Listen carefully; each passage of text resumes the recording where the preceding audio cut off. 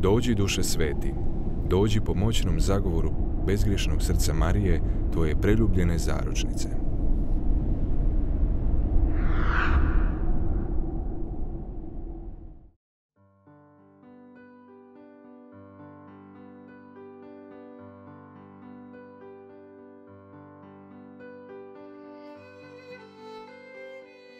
Iz Evanđelja po Mateju. U ono vrijeme reče Isus svojim apostolima. Nije učenik nad učiteljem, niti sluga nad gospodarom svojim. Dosta je da učenik bude kao njegov učitelj i sluga kao njegov gospodar. Ako su domaćina Belzebulom nazvali, koliko li će više njegove ukućane? Ne bojte ih se dakle. Ta ništa nije skriveno što se neće otkriti, ni tajno što se neće doznati. Što vam govorim u tami, recite na svjetlu. I što na uho čujete, propovidajte na krovovima. Ne bojte se onih koji ubijaju tijelo, ali duše ne mogu ubiti. Bojte se više onoga koji može i dušu i tijelo pogubiti u paklu. Ne prodaju li se dva vrapca za novčić? Pa ipak, nijedan od njih ne pada na zemlju bez oca vašega. A vama su i vlasi na glavi sve izbrojene. Ne bojte se dakle, vrijedniji ste nego mnogo vrabaca. Tko god se dakle prizna mojim pred ljudima, priznat ću se i ja njegovim pred ocem koji je na nebesima. A tko se odreče mene pred ljudima, odreći ću se i ja njega pred svojim ocem koji je na nebesima.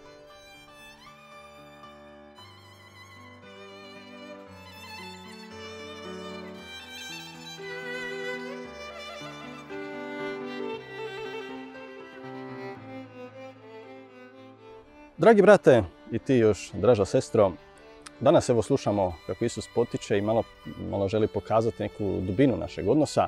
I naravno djeluje na prvi pogled što i čini da uspoređuje dušu i tijelo i onda ispadne da tijelo nekako je slabo, a duša je top. Međutim, bez obzira e, na ove izgovore i ove rečenice, uvijek se treba posvijestiti da u ono vrijeme iako su postojali drugčiji pojmovi, iako su ljudi bili svjesni da oni nisu samo komad mesa ili samo mlatarajuće ruke i noge koje onako besmisleno hodaju, nego su duša i tijelo zapravo sinonimi skoro. To je, može se reći moje tijelo ili moja duša značilo bi isto što i moj život. Ili ako ja kažem, ne znam, ubio sam nečije tijelo, ubio sam nečiju dušu, ubio sam njega.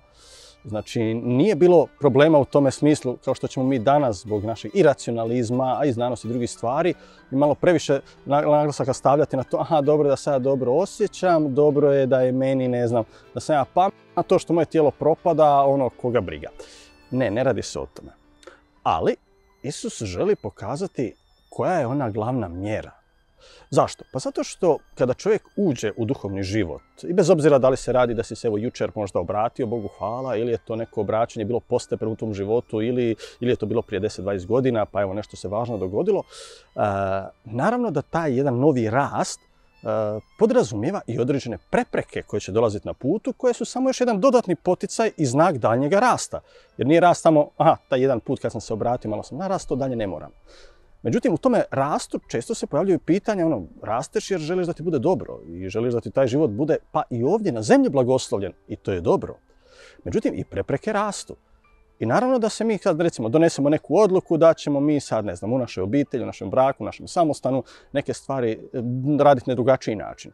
I uvijek će svugdje biti barem jedan ili dva kojima se to neće sviđati, koji će pružati neki otpor i koji će nekako malo otežati atmosferu te zajednice.